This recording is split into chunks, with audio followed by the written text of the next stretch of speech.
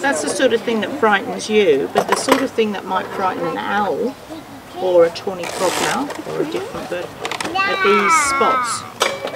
And what do they look like? Piggies don't eat eyes. They look like eyes. Are they really eyes? Oh, why are they there then? But they're butterflies. They don't. The scared animals don't know that they're butterflies. You're right, this, the other animals don't know they're butterflies. They think they're a bigger creature because these look like eyes, don't they, on the, on the edge of the butterfly. So when, a, when an owl comes along and sees that, what do you think he'll think? What will he think when he comes along and sees this? Um, he'll see the eyes and he'll get scared. He will.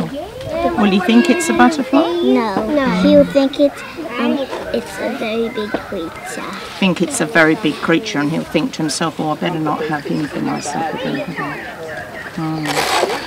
That human like Can you ask butterflies. Miss Robertson? I think she's got one. Yeah.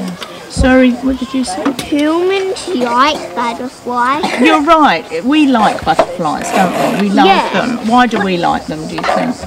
They're beautiful. Because they're beautiful. They do look beautiful and they're very good for the garden, aren't they? Yes. And the predators eat them. The predators eat them. Yes, you're right. They do. So what what here is stopping the predators eat them? Why won't predators eat this particular butterfly? Because it has eyes in them and they think um, it's actually um, a, a big um, creature. Oh, okay, so the predator will come along and see those, think it's a big creature, and not eat it.